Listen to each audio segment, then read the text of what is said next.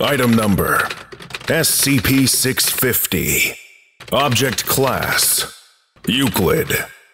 Special Containment Procedures SCP 650 is to be stored in a lockable room at least 4 meters by 4 meters, with comfortable lighting. It must remain under constant surveillance by no less than three personnel.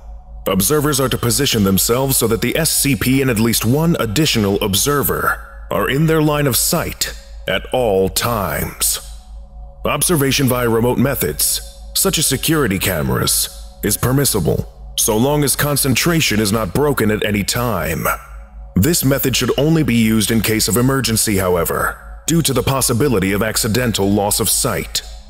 Description SCP-650 is a black statue of a stylized humanoid, 167 centimeters tall. The statue does not possess hands or facial features.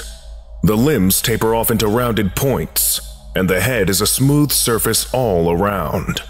The default posture while under observation has the statue reaching upwards, head tilted as if facing the sky. Composition of the statue is currently undetermined. Materials testing has yielded inconclusive and contradictory results. If the statue is not being observed, it will relocate itself to a point immediately behind whomever is in the containment site and assume a threatening posture. No noise is made during this relocation process, so the precise method of locomotion is as of yet unknown. The relocation point and posture are typically close enough to induce an automatic fight or flight response of the observer once they turn around and see it. However, it should be noted that SCP-650 has not yet shown any signs of active aggression or hostility. Based on trial responses that varied the amount of time between breaking and re-establishing line of sight, its purpose does not seem to be to attack, but merely to startle. The reason for this is unknown, and no further research is pending to determine its motives.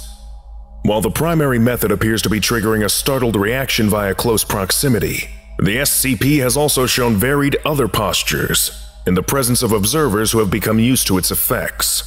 In the cases of these observers, the statue has assumed other postures a comfortable distance away, including reclining on a table, sitting on a chair, and in one instance, huddled in a corner as if terrified. Given that the observers who reported these postures also mentioned that they were left feeling uneasy, it is theorized that this may simply be a secondary method of generating reactions.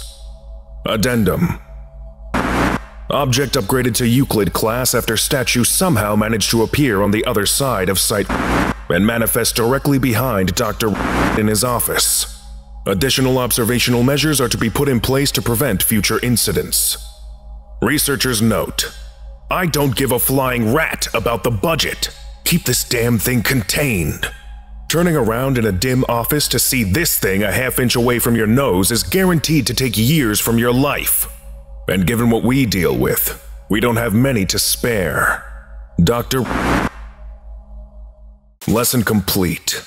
If you missed the previous orientation, go watch SCP 649 Matchbox Full of Winter right now. Or for the complete course, watch this playlist.